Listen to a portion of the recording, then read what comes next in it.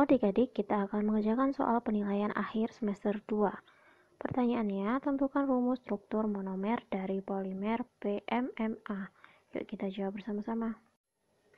PMMA atau polimetil metakrilat merupakan polimer yang dibentuk dari reaksi polimerisasi adisi senyawa metil metakrilat. PMMA adalah plastik bening keras tetapi ringan, digunakan sebagai kaca jendela pesawat terbang. Proses pembuatan PMMA dapat dilihat bahwa berasal dari monomer metil metakrilat dengan struktur seperti ini sehingga jika dilakukan polimerisasi secara berulang maka didapatkan polimetil metakrilat atau PMMA. Jadi monomernya itu strukturnya seperti ini ya, metil metakrilat. Terima kasih.